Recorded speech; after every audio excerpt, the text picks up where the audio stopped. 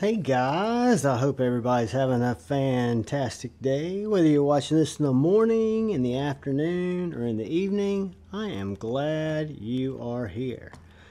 First thing I want to do is just do a quick shout out and thank you to all the channel members. Thank you, thank you. And thank you to anyone who comes in to check out my knife, my EDC content. Thank you. I appreciate each and every one of you.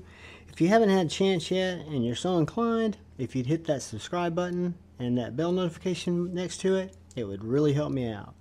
So today I've got a very interesting Spyderco from the past, you would say. And this is the Vallotton, and I think I'm pronouncing that right, Subhilt.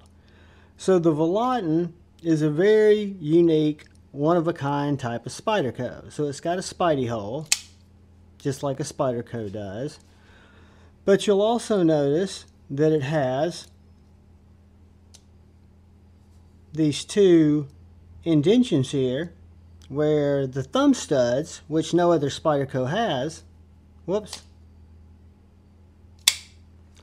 lock into that stop pin. So it's basically it's acting as its stop pin. The the uh, thumb studs are. A fellow by the name of Butch Vallotton um, was a high-end custom maker, production maker, um, did automatics and did folders, and was a big fan of kind of overbuilt Italian-made knives. And this knife was a collaboration between he and Spyderco, his design, and he again integrated his use of thumb studs as a stop pin. So you'll notice that is the only stop pin in the knife. You've got the uh, the stop pin that keeps it from hitting that G10 on the bottom. And then you've got these two uh, thumb studs right here that catch right in that bolster. And bam you've got a full-sized wonderful feeling beefy. As far as Spydercos go this is a beefy beefy boy. Um, it's a liner lock and it uses this Michael Walker liner lock, which I'm assuming Michael Walker is the inventor of the liner lock. But if you'll notice here, this steel frame is very thick. So that liner almost looks like a frame lock. See how it locks in there? Right about 40%. This knife is made of a polished G10. And then you've got stainless steel stainless steel bolster. You've got a four position clip. The Spyderco clip is with this one. This one is actually wearing a Lynch deep carry clip. You got a blade that is just wicked awesome in my opinion. It's an S30 V blade. Um, so it's Spyderco's S30V steel and it is deep, deep, deep hollow ground tanto.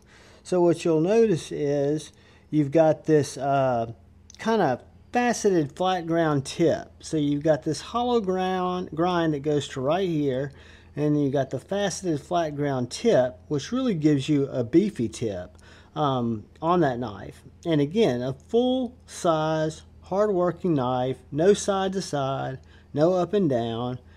And ironically, there's a Butch's maker's mark the Vallotton.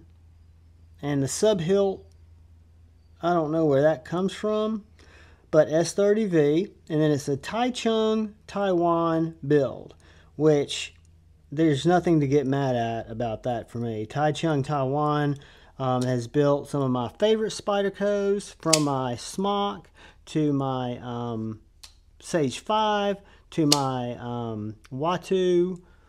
But this guy is sweet. Let's see if I can get some of this paper out. And we'll see how it cuts. I have not tried to cut with it yet. This is more of an overview than a review because this is not my knife. This knife belongs to my buddy who y'all are getting to know. A to Z EDC. He's my local buddy. Goes to Blade Show with me. supplies me with some really cool knives to review.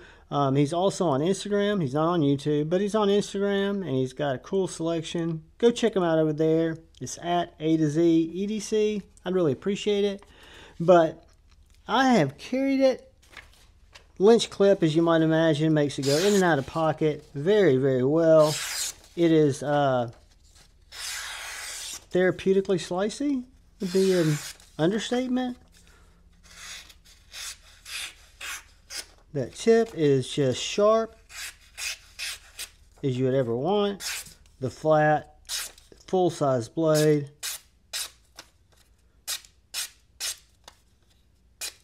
Sorry guys, I'm in the cutting trance.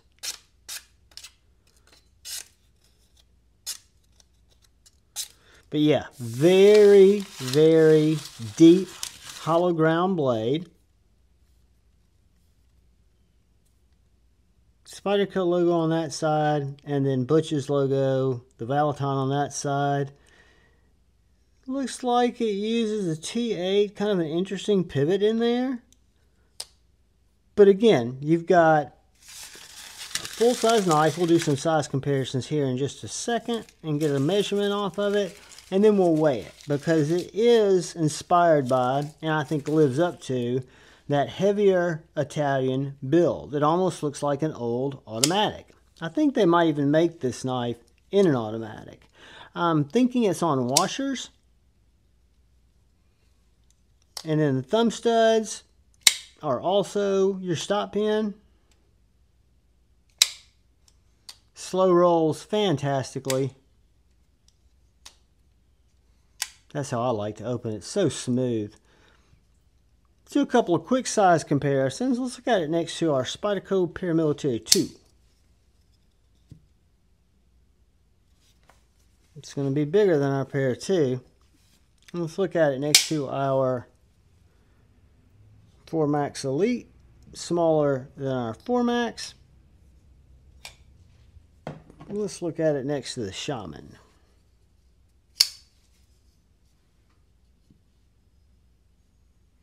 Guys, it's going to be a little shorter than the PM2 or than the it's going to be longer than the Shaman and longer than the PM2, which makes me think I think the only larger knife I've got out right now is going to be my full-size Spartan Harsey, and it's going to come in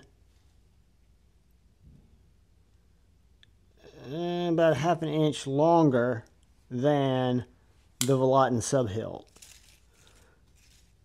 So let's do this. And a really neat Tanto grind. So I don't know, it looks like a drop point. Spyderco calls it a Tanto.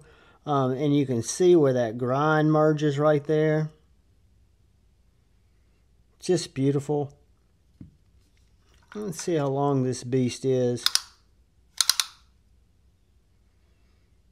So it's going to come in at eight three quarter, eight and three quarter inches does have a lanyard hole.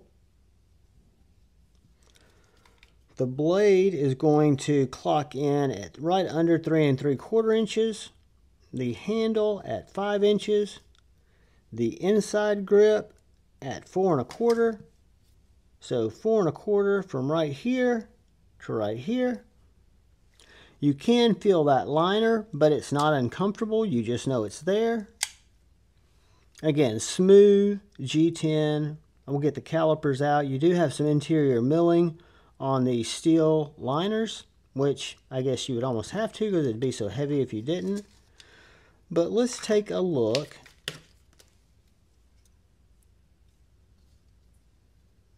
at what we're working with here on our blade thickness.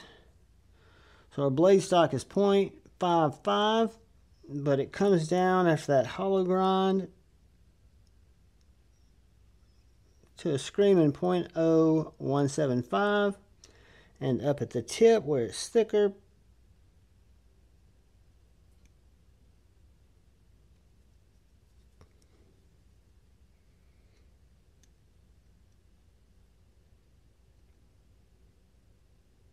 Point oh three nine five, and then the thickness of the knife is going to be 0.6810. So over a half inch is thick, almost an inch tall. So you've got a nice contoured, smooth G10 handle that really just fits. I mean, it's a great grip. Depending on whether you use a reverse grip, whether you use a traditional grip, whether you use more of a carving grip.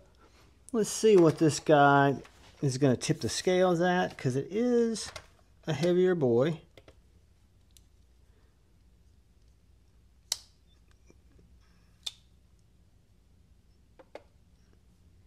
6.2 ounces. So again, Butch and Spyderco wanted to design a kind of an overbuilt knife, and I think they accomplished that. Um, this is the Volatin, or Valatin, or Volatin, I think, like cotton, subhilt. And subhilt's trademark, so I don't know what is the subhilt, but you do. You have these nice stainless um, liners and bolsters. You've got this really pronounced blade hole and this wicked, wicked looking blade that I just think is awesome. Belt satin finish, S30V, nice jimping right there on the on the handle, and a liner lock, which you don't see every day in the Spyderco world. So for odd Spydercos or Spydercos that maybe I wasn't that up to par on, this guy was not on my bingo card. So it is an absolute Cool knife, bigger than I would normally carry, but that's okay. I still appreciate it for what it is. But guys, I want to thank you for watching the video. I hope you found it informative, educational, somehow entertaining.